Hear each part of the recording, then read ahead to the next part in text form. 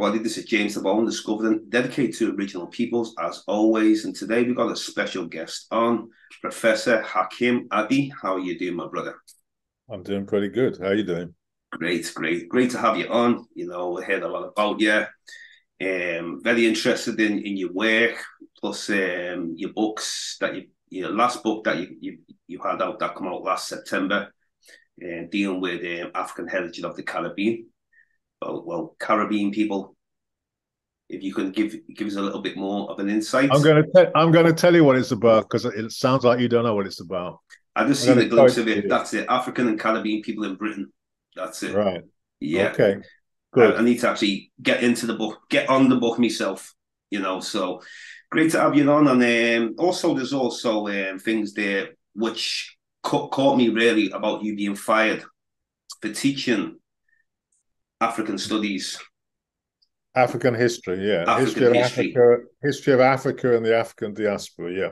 Right. So, well, I don't know where to actually begin because I mean that really caught me seriously because I know that there's certain parts in America and probably the UK as well where they're trying to ban African history being taught. Mm-hmm. So, if you give us a little introduction to yourself, where did it all begin for you? Oh wow! You want me to go back that far? That's a long, long time ago. Um, just briefly, just give us like, just so we can have a starting point, and then okay. you know, jump through. Okay. Well, as I explained, or you explained earlier, I was the first person of African heritage to become a history professor or professor of history in Britain. That was in 2015. Um, and my last job was as professor of the history of Africa and the African diaspora at the University of Chichester in Sussex. Um, and I had been working there since 2012. So that's what, 11 years ago. So, in the course of those 11 years, I set up a master's degree in the history of Africa and the African diaspora. And that was especially set up for for black students, really. Um, it came out of a, a conference that we held in London in 2015 called the History Matters Conference. And that conference was called to discuss why there were so few young black people studying history in this country. I don't know whether you know that um, at university, history is the third least popular subject or the third most unpopular subject young amongst young black students. Only agriculture and veterinary science are more unpopular than history. Now, as you know, if you go to anywhere, Birmingham, Liverpool, Manchester, London, at community level, history is one of the most popular things. Everybody's interested in history and there's all kind of things going on and so on. But amongst young people, they're actually been put off studying history, not just at university, but also at school level. So we held a conference to kind of discuss that and to find out exactly why. And uh, there were no big surprises, but the main thing that young people said was that the history that they were being taught is Eurocentric, and therefore they don't really want to study it and so on. So the conference discussed all this, and then it made various recommendations. And one of the recommendations was to set up a program for mature students, older people who loved history, but had been put off history at school or earlier in their life, but wanted to come back to history, wanted to do some research, wanted to research into their families or their communities or whatever, whatever.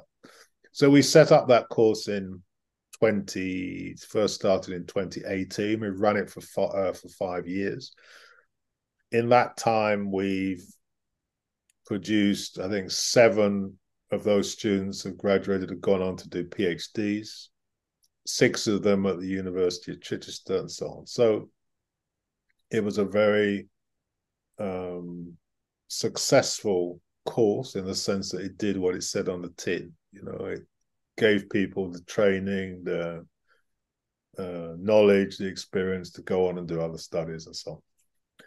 Um, and then this year, the university said it was going to close it down. They said there weren't enough students on it, and all, all kind of other things were said. That course was suspended in in May, then the university used that suspension to sack me in August. And right. so we have a situation at the moment where all the students that I was teaching, there's 16 black postgraduate students, the biggest cohort of black postgraduate history students in Britain, have been left without any supervision. Their studies disrupted. They don't know whether they're, they're in complete limbo and so on. So that's basically the situation that we're in. At the same time, um, anyway, there are lots of other problems connected, but that's the that's the essence of um, the situation we're in. So, just to, to explain a little bit about myself, I said I was the first person of African heritage and so on to become a history professor. I've been teaching history for uh, 30, nearly 40 years, something wow. like that. Uh, quite a while. Yeah. Quite a while. Yeah, a few yeah. years. Interesting. Now, um, when you've been in London, and I'm sure you've been to, you visited Liverpool, I'm sure many times, or um, I don't know. I was background. in Liverpool two weeks ago. Few weeks ago. So now, from what me just being born in Liverpool and um, with I'm like yourself with African Nigerian heritage. So it's a little different to someone who just had just only Caribbean heritage because we were taught who we were, basically, not who we became.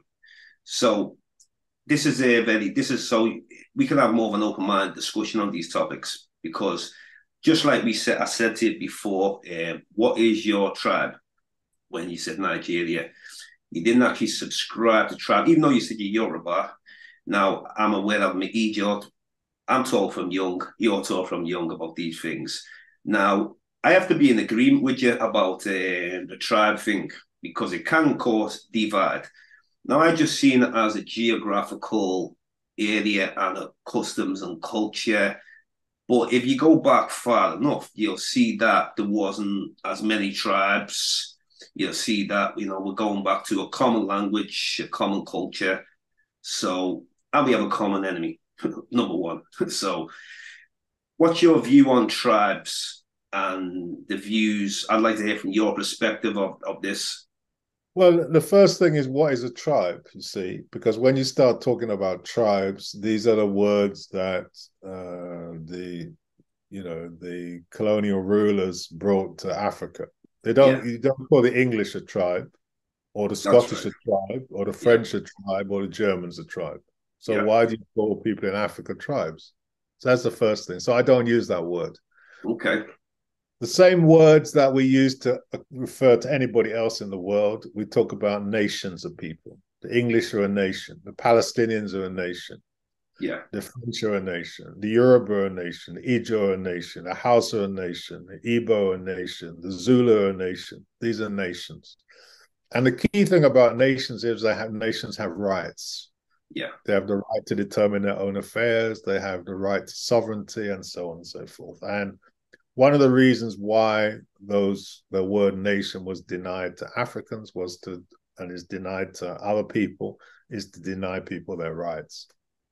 And yeah. that denial of rights continues in Africa today, even though there's, you know, governments of Africans existing in Nigeria or Ethiopia or wherever it might be. So that's to me very very important that we don't discriminate against Africans and we use terms that as you say mean the same thing people have common language common culture common land okay they're a nation they have rights and one of the yeah. rights is to determine their own affairs to govern themselves and so on to be educated in their own language and so on so these are very important questions so anyway that's how i would see it.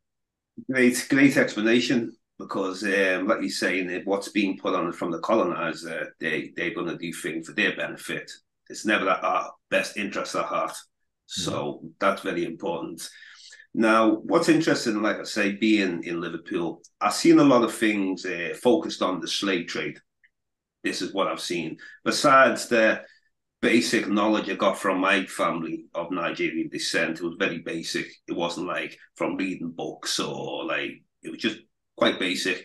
So then when I started researching myself as I got older, after watching things like Roots and stuff like that, I started seeing how all these great African empires, looking into Nigeria, they had the Nok culture, you know, Nile Valley civilizations. So it's it's another thing that uh, with I understand how important this, the slave trade is for us to speak on it, you know, reparations behind it, and reparation for in Africa as well. Mm-hmm. Um, my focus was trying to focus on the great things that we did, and we still do great things. There's still great things we did during this transatlantic slave trade, even when we landed in different places, black inventions and etc. So, yeah.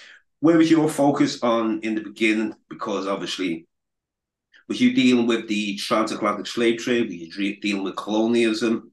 Where was the area of your research? And I'm sure that you're definitely aware of other things as well.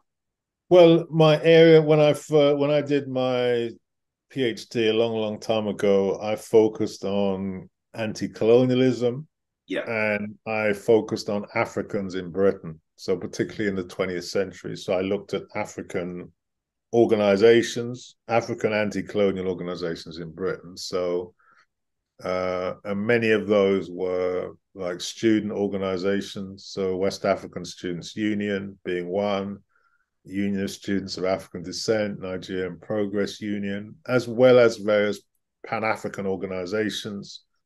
So, going back, the African Association, uh, the Pan African Federation, the Committee of African Organizations, organizations that were national organizations. So I was really looking at the kind of anti colonial and anti racist activity of people in Britain, Africans in Britain, and how that connected with the anti colonial struggle or the Pan African struggle within Africa itself. So that's that's where I started. But obviously, over the years, I've looked at um, other things. And the, the latest book looks at British history going back, you know, 10,000 years, right up till 2020. Interesting. And in my teaching, I've taught all kinds of things. Uh, yeah, mainly focusing on colonialism, anti colonialism, Pan Africanism. Uh, yeah, those kind of things. But also, yeah, I mean, I deal with slavery, anti-slavery, everything, everything related to Africa and the diaspora. I try and obviously I don't, don't know about everything in general, but I try and deal with everything. Yeah. Well, it's funny when you said Britain, you're dealing with from 10,000 years ago also, because that reminds me of uh, Cheddarman. I'm sure you've heard of Cheddarman. Yeah, that's so, what I'm talking about. Yeah, so it's great that you start from that time because, you mm-hmm. know, I mean, I'm not sure, like maybe 20 years ago, was Cheddarman considered as a Europe, white European until they got better with uh, the technology and stuff like that. Excellent. Yeah. And then, wow, now when you go from there and you get to Stonehenge, mm-hmm. Uh, um, now we have, we have references that Stonehenge could have been built by black people, or they were possibly the same culture as the people from Cheddarman's um, past.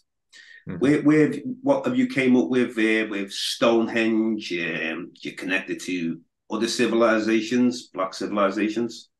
No, I haven't come up any, with anything with Stonehenge. So, certainly, uh, Cheddar Man, Cheddar Man lived yeah about ten thousand years ago, and yeah. at that at that time, everybody in Britain, everybody in Europe would have looked like Cheddar Man. So they would have been dark skinned, dark haired, and blue eyed for some particular reason. That must be. But I don't know. Any, I I don't have any particular information about Stonehenge or what it's. Yeah. So so now when we get like we get more closer to in the last because uh, starting from ten thousand years and then running down to Stonehenge and then as we're coming more into I don't know where your best research is in, in the last couple of hundred years or where would you go after like Stonehenge from your research? Well, I mean, the book looks at the kind of most ancient findings of Africans in Britain, which I mean, there's some indication that there could have been people from Africa, you know, more than 2,000 yeah. years ago. But the ones that we have the best information about are, you know, during Roman times. Interesting. That's yeah. about nearly 2,000 years ago. Because there we have archaeological. It's it's all archaeological information, really. Like you say, DNA analysis yeah. of people. So people like uh, uh, the person who's called Ivory Bangle Lady, who died in York, young African woman. Yeah. There are others buried in different places who she was the lady with all the jewelry buried with. Yeah, the ivory, that's what yeah, she's yeah, called. Yeah. yeah. Buried with various jewelry, including an ivory bangle. But we know that there were others in London and other cities, and there were people like Septimius Severus, who was a Roman emperor, who came from Libya. Quintus Lollius Urbicus, who was a governor of Britain from what is today Algeria, and they brought with them African soldiers, African potters, and as Ivory Bangle Lady and others shows, African women, African children were here in Roman times. And then the archaeological evidence shows us that in the next few centuries, a similar kind of picture. We don't have a lot of evidence, all the evidence yet, because it hasn't all been analyzed, but every so often somebody is some skeleton is found and analyzed. There was an analysis uh, done a few months ago or published a few months ago of a young girl was found not far from where I live in Kent from the seventh century. Seventh century. Yeah, seventh century of our era. So that's thirteen hundred years ago. And the DNA analysis said that she's of Yoruba origin, just by coincidence. Wow. Um, yeah, anyway, they they reckon they can bring the DNA to a particular location what why what she was doing in East Kent, whether she actually came from West Africa, more likely her father or grandfather came, yeah, but she, she died at an early age. So there are these kinds of findings dotted around and what really is needed is people to do more research in the, that very ancient period because if you look in the book my book that these are the things that i present.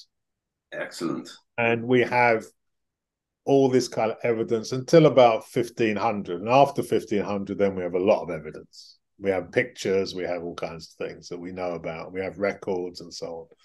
Um, so then after that period the evidence is much more. Now this is all in your most recent book is it? It's all there. Yeah, yeah. okay okay. Yeah excellent. I'm looking forward to reading that anyway. I'll share that book out. See this is yeah. the kind of information what people need you know? It's not only do i present the information i present the references of where that information came from. So Excellent. everybody can look for themselves find all the information whether it's right whether it's wrong whether you agree whether you disagree and so on. Because some people like to uh, not very many people but there are some people who attack my book and say it's you know yeah yeah well lying and this and that well all well, the I information think, I think we're used to that though, aren't we? you know, we're, we're used to pe- having attacks on us, you know, look at ancient yeah. Egypt, you know, they're still trying to say that these were Eurocentric Euro, European yeah. people. Yeah, yeah. Uh, even like I've just not come back from Egypt, and some of the Arabs want to believe they had something to do with it. It was, and they weren't even there. Johnny come lately, so we need um, all the evidence we can find, and we need all the researchers that can take part. And researchers of all people, anyone who's going to be honest, honesty is what we need. Yeah, and that's why why the closing down of this course I mentioned before and the um, the impact that it's had is so so bad because um, it's not just the students who currently exist; it's the students that could exist in the future and have been prevented from existing because that was the only course of its kind in the country in Europe. In fact, only course of that kind, and that's been being closed. So it's a big problem. Yeah, I know during the time of the Romans uh, period, and they came to Britain, and they actually writ accounts of.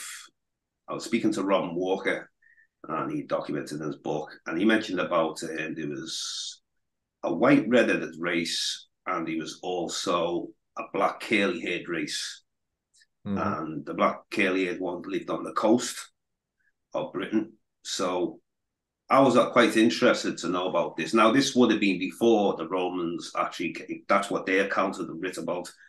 So I thought that was interesting. And then, like you say, we could go back even further than that, you know. Mm-hmm. So we start from Cheddar Man usually in order for us to speak about the Black Prince. Yeah. So yeah. I thought this was interesting, um, and not just only Britain. You know, we can look at many places in Europe to Asia. You know, um, I had a person on my show, one of my grandmaster teachers who passed away about 2000, uh, two years ago, Dr. Runoko Rashidi. Mm-hmm. Now we deal with the African global African presence around the world. He traveled mm-hmm. to about 125 countries in search.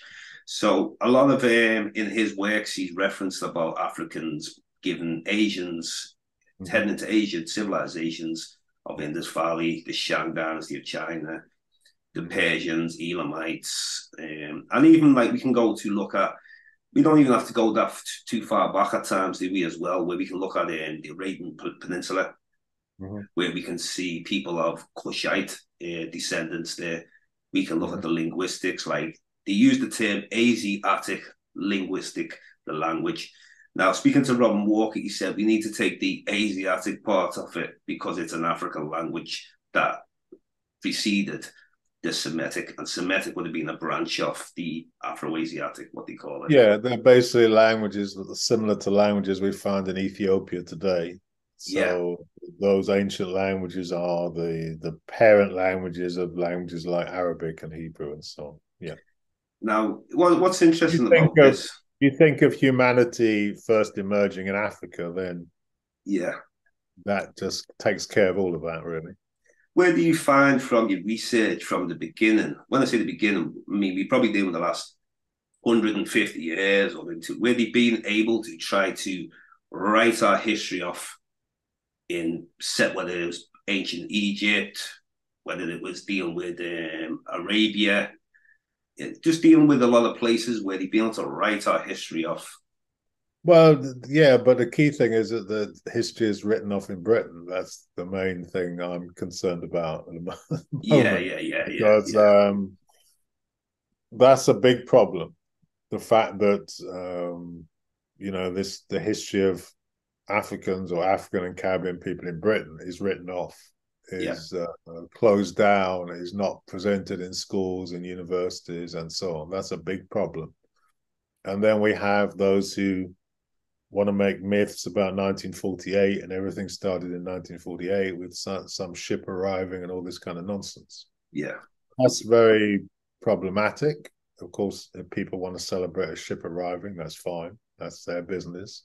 Yeah. But you you can't present the whole history as being based around a ship coming from a particular place and so on. So those distortions are, um, you know, are very very serious and uh, ju- just as you know, just as dangerous as the distortions about ancient Egypt or ancient African history or any other aspect of history.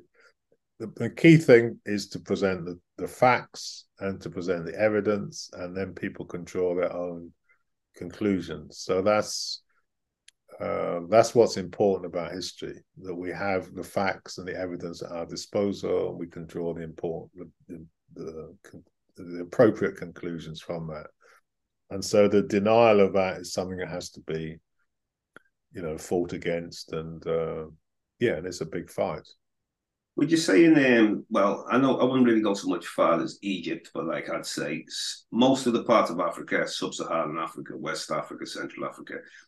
Do you, do you think that there's a lack of funding in archaeological and anthropological? You know, our, our, our own people bringing back our own history because I know we could go museums in these countries. You know, we can speak to people. But I feel like that Africa really needs to bring the history out more stronger, not just from an American perspective, Black Americans, or not just people from Europe, people in Africa themselves. Well, part of the problem is people don't really study history. You know, a lot of places people don't really study history after the age of about 14 whether in wow. Africa or the Caribbean or anywhere. That's a bit of a problem. That history is not problem. really taught. Um, so yeah, that that's part of the problem. Um, people don't. Uh, yeah, there's also obviously a question of funding. Yeah. Uh, in many many places, which prevents people really, you know, people being educated in general and then a lack of concern with with history, with culture, with these kinds of things. So that that's that can be a bit of a problem. And then the other thing sometimes is that there's also a, a kind of legacy of colonialism and Eurocentric thinking about history as well. So there, there are lots of difficulties that you know people have to overcome in Africa. And then the other thing is that people there's a lack of funding for archives and for keeping papers and other things in good condition. And people don't necessarily know what's around. I remember years ago speaking at uh, Unilag in, in Lagos about West African Students Union and speaking to all these professors and various people. And somebody asked me, Where did you get all this information? I said, Well, it's downstairs underneath this building in the archives, and they didn't even know where it was. So there are lot, there are lots of problems and difficulties, and obviously, in many African countries, people are dealing with you know all sorts of problems. Just a problem of we take Nigeria, just a problem of literacy itself is a major problem, let alone people studying history. So there are lots of things that are on people's minds and uh, you know very very difficult problems to solve as well as understanding teaching learning about history that's a real shame though you know what i mean like um it's like people out in america people out in europe and wherever else we are we can kind of even though a lot of people don't read too much into african history here but the, we have we have got like a number of researchers. You know, it's like I say in Africa. I'm not saying we don't have researchers, but it seems like the focus is on other things. Um, yeah, we don't have that many researchers here. Uh, that's one of the reasons why we set up the Young Historians Project to train, encourage young people to take up history because we don't really have that many people who are researching history in in Britain. That's a yeah. big problem. I mean, on an independent route, um, like myself, I just started like traveling to all around different places in the world. I was connected with original indigenous peoples, trying to trying to find out a connection of black melanated peoples around the world. And I see it now. I'm not trying to identify put us all in one bracket, but I see that we're more people of nature wherever we go. In because I've visited the most secluded areas in Asia, Australia, Pacific, all around different places. So I see we have a common struggle. You know, uh, we're dealing with a common enemy and everything. So what what I always try to look at is, is um, how are we going to like um, not just overcome oppression, but be able to raise our self esteem higher to mm-hmm. show people the great things that we did rather than just what we went through. And you know, yeah, we're strong people. We're still here. We're still going. But um, Africa, the big, massive, giant continent, it's um, I don't know. Sometimes is it waiting for us to connect, or is it, or we waiting for Africa, or is it should be a double standard? It's a well, it should be both. I mean, it should be both. Yeah, yeah, definitely. Uh, I think my I talked about the study that I did years and years ago. I mean that really showed me that the history of Africa and the African diaspora is one. It's one history, and people go backwards and forwards and influence each other and so on. So, um, you know, Africa is. Uh, well, let's put it this way: Africans are, we can say, our own liberators. So we need yeah. to liberate ourselves wherever we are, whether we're in Africa, we're in Britain, we're in wherever. People need liberation and to become decision makers in their own country. And one of the things we have in common, whether we're in Britain or the US or the Caribbean or Africa, is we're not decision makers. Other people make the decisions. Yeah. So we need to find ways, systems, ways of becoming the decision makers and those who determine what happens in the world. Yeah. When we do that, we're in a position to solve all these kind of problems. Now, I'm more of a Pan Africanist than a Black nationalist. Mm-hmm. Now, um, can you see, can you identify the two different things? I'm sure you can. Yes, because I've spoke to some people and they, they, they're totally for Black nationalism so you could deal with the Nation of Islam, and um, you could deal with certain certain groups that more support black nationalism than more Pan Africanism. I mean, you see Pan Africanism in my, in my uh, my view, I believe it's the way to liberate liberate us globally. Now, what do you think of like black nationalism as far as should we like should people identify to try and of course build where wherever you are, but we are we've got to understand who's ruling over us when we deal with things like black nationalism. Well, I'm not sure I'd look at it in that way. I mean, I think people should do like Malcolm X said by any means necessary. So yeah, what yeah. other means that are necessary? Was Malcolm X a black nationalist or a Pan Africanist? He was both. Both. That's right. He was one of a kind. Okay, so but the issue is um, how do people, how do we liberate ourselves? And you have to look at the particular problems that are faced in this country or in Nigeria or wherever it happens to be. And the, the key thing about those countries is it's the same economic and political systems that exist in those countries. It's just the same capital centered system. And if you look at the greatest Pan African Congress that was ever held, or the most famous, was the Manchester Congress in 1945. And the key things that were said at that Congress was that to develop an Africa where, um, without colonial boundaries, without the colonial political system, and without the capital centered economic system. And that still remains the kind of uh, the goal, if you like, for African Africa, Africa as a as a continent. How to develop a new Africa, which is not under the kind of legacy of colonial rule and so on. So, uh, and a big part of that are, is the capital centered economic system where the rich get richer and the poor get poorer. And that's the same in Nigeria, South Africa, Britain, Jamaica, the US, wherever you want to go. So, how do you get rid of that system? That's the key. You can be a black nationalist, a Pan Africanist, Nation of Islam, Seventh day Adventist, Church oh, of England, Pentecostalists, atheists, yeah, whatever. You still live under that system. So, yeah, true and so, do, so do other people who are not even black. Yes, that's right. Yeah. So, so to me, those are the that's the key thing that has to be looked at. How do you unite all those people? And going back to the Manchester Congress, that was the thing that they looked at then. You know, they said uh, you know, subject peoples of the world unite. Yeah. Uh, Arabs and Jews unite against British imperialism.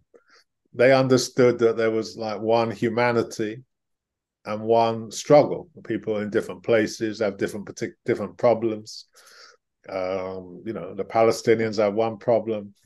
People in Africa have another problem. People in Britain another problem. But the, in that sense, the enemy is the same enemy because yeah. it's the governments of Britain, the governments of the US, the government of Israel, they're all one. They're one.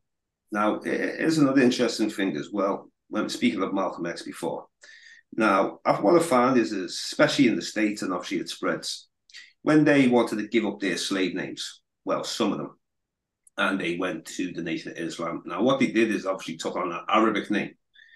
Now, yeah, maybe they consider themselves halfway there why not an African name? why not? The African name is, I mean, especially now that you can go on the internet and find millions of different African names, whether they're from any tribe or any country, beautiful African names. But can you see um, if you think Arabic Arabic is derived from an African root, then you say that Arabic, oh, yeah, yeah. Arabic yeah. is an African language too. That's true. That's true. Now, where's an interesting since you brought this up, yeah, because I'm very aware of this. But the people who live on the land of Arabia or uh, Arabians of the diaspora, they don't seem to see things like this. They seem to claim it as their own, and we join them. If you get what I'm saying, I find racism within the Arab world as well as the European world. Well, there's racism in every world. There's racism in the African world. Isn't what happened in Rwanda racism? Isn't what happens in South Africa where they attack people from other African countries? Isn't that racism? There's racism everywhere racism is racism. Yeah, yeah. No, but I, I look at obviously with racism though, you've got to have some sort of power. So when we're dealing with South Don't Africa, you think what happened in Rwanda was racism?